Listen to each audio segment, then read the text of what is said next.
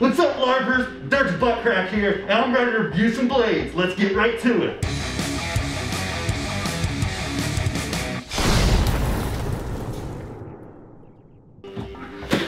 Don't need that. What's this? Don't need it. What's this? Don't need it. What are these?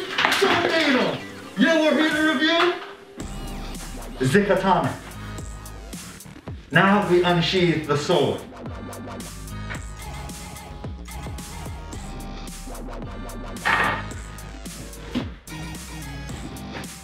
Let's get down to business. What to the feet? Ha! Right when I pull this thing out, I notice the balance is perfect. I can swing this bad boy at zombies, at wizards, at level 20 mages. I don't even care. I can swing it anywhere. Ha! Ha! Ha! Next up, I notice the balance. The balance is pretty good. I think the hilt has a little bit of wear to it, but that's okay. Model-wise, it's looking like the ZY708-64 Banana.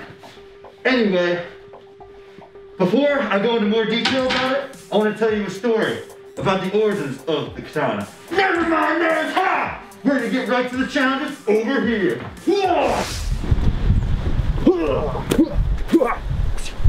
What's up guys? You know what time it is now. Time for some challenges. But before we get to the challenges, I want to take some history on the katana. Just kidding. Let's get right to them. First challenge is the poke challenge.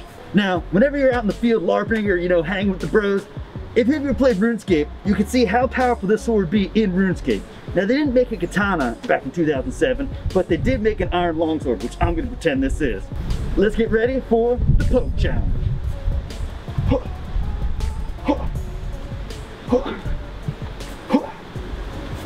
Overall, pretty good poke challenge. Solid 8 out of 10. I was hitting for about 12 to 14 damage a hit, which is pretty good in my book. I had a level 20 strength, so overall, I'd give it 8 out of 10. Nothing, no, nothing, no complaints about it at all.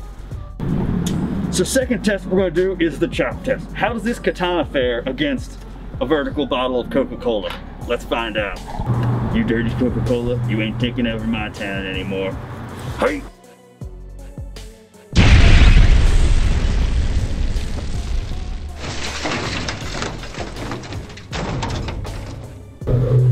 Wow, would you look at that?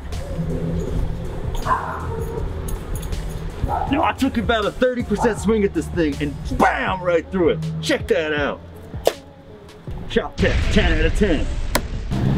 So we went through the poke challenge and the chop challenge. The last challenge we're gonna do is for all you Lord of the Ring nerds out there, like me. If any of you remember, Gandalf the Grey at the time goes up and says, you shall not pass, and sticks his staff into the ground or something. I don't really remember because I'm not a Lord of the Rings nerd, I'll admit it. Anyway, we're gonna go and we're gonna stick this uh, katana or iron longsword, but more like a katana into the ground and see how far we can get it in there. All right guys, so we're back and now we're gonna do the challenge.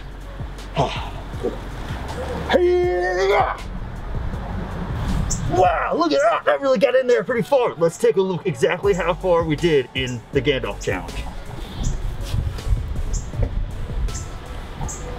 Wow! So you can see the dirt starts right around here. So I'm gonna say that's eight inches, six inches, I don't really know, but I'll give it six and a half point seven out of 10. What's up guys, Dirk's Buttcrack here again. So that concludes our test for the katana, the katana.